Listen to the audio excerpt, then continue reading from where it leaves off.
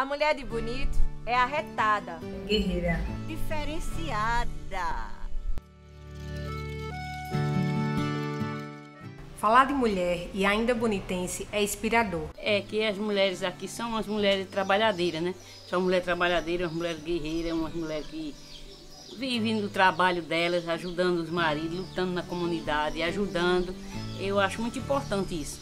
Ela sabe viver, ela sabe ser é, a dona de casa, ela sabe ser é, administradora. Não tem medo de pegar no pesado para conseguir alimentação para os seus filhos, junto com o seu esposo.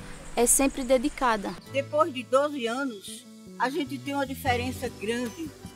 A mulher vem se educando, a mulher vem se capacitando e a mulher vem ocupando cargos disputando a profissão com o homem. Mulher deve participar mais na política e deve ser respeitada na sociedade. Sabemos que o mundo ainda precisa evoluir, com a igualdade entre homens e mulheres, pois a vida das brasileiras não é nada fácil.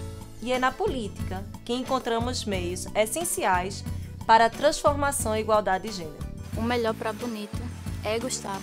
Conforme todos sabem, nós trabalhamos muito voltado para a questão da mulher. Mas nos próximos quatro anos vão vir muitos novos projetos, muitos programas voltados para a mulher. A gente vai criar ouvidoria da mulher, vai criar programa psicológico para atendimento às mulheres que sofreram ou sofrem algum tipo de agressão.